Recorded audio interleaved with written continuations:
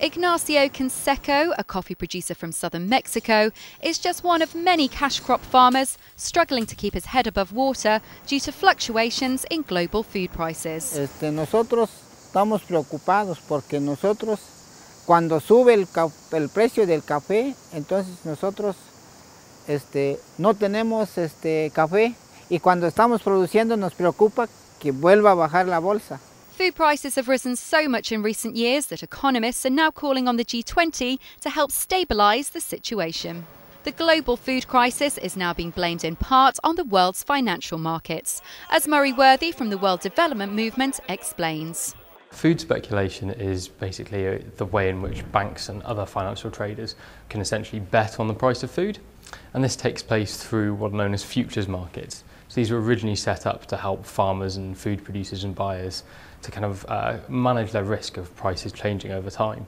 But instead what we're seeing now is other people coming in who've got no connection with the food supply whatsoever, coming in and using these markets just to bet on the rising and falling price of food.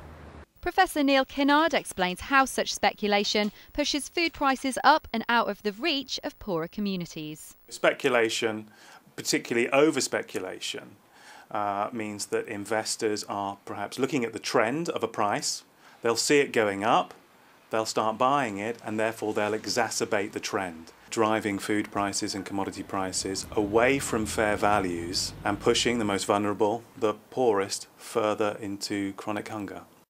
However, back in Mexico, hunger is not the only repercussion of financial speculation. As coffee farmer Lorenzo Canseco explains, it has a knock-on effect on many aspects of poverty. La mayor parte del dinero que ganamos va a la, a la compra de, de los alimentos. Hay algunas este, familias que, que no les alcanza el dinero, están comprando eh, los alimentos y entonces ya los, los niños que van a la escuela ya no tienen útiles, ya no tienen este ya no tienen ropa como para que asistan a una escuela. It would appear that economic speculation is getting so out of control that even bankers such as Kenneth Shwedel from Rabobank are now eager for the food markets to be stabilised. We've got to look at some sort of regulations or some sort of movements or some sort of actions which will limit the volatility in the market as you move uh, into the future. I'm not really worried about the large money coming in. I'm worried about the coming in, moving out, and coming in, moving out. With around a billion people worldwide going hungry and record food prices now affecting us all, almost 500 economists, including Neil Kellard, are now calling on the G20 to take action.